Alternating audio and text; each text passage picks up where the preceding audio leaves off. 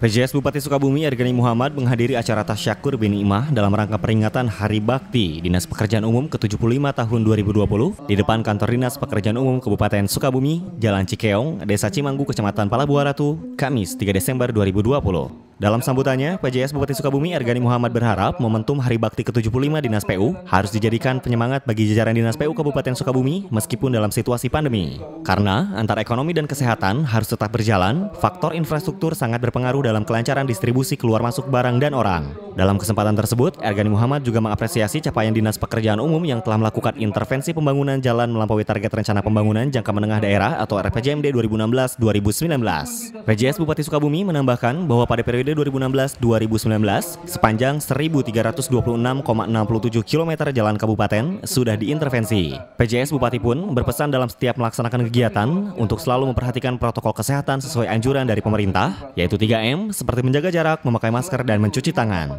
Kepala Dinas Pekerjaan Umum Kabupaten Sukabumi, Asep Japar mengatakan, meskipun di tengah situasi pandemi COVID-19, Dinas PU masih semangat membangun Kabupaten Sukabumi. Asep Jafar mengatakan, pembangunan jalan pada tahun 2020 meskipun terganggu oleh COVID-19 tetap berjalan di kisaran sekitar 100 km.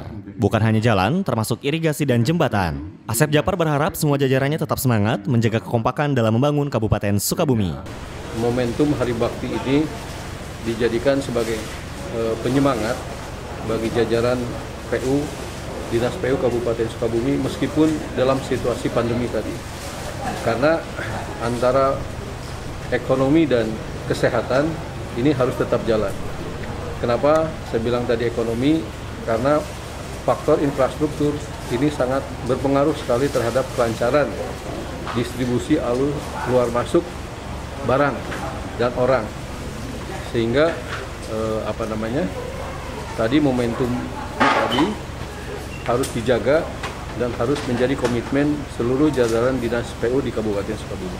Jalan pada tahun 2020 ini, memang meskipun ada apa eh, terganggu dengan COVID ini, tapi tetap kita komitmen bahwa pembangunan jalan tetap jalan.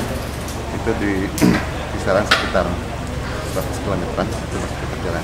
Tapi bukan hanya jalan, irigasi termasuk pendataan bisa disilakan. Demikian disampaikan Dinas Komunikasi Informatika dan Persandian Kabupaten Sukabumi dari Palabuhan Ratu Kabupaten Sukabumi Jawa Barat, kami TV melaporkan.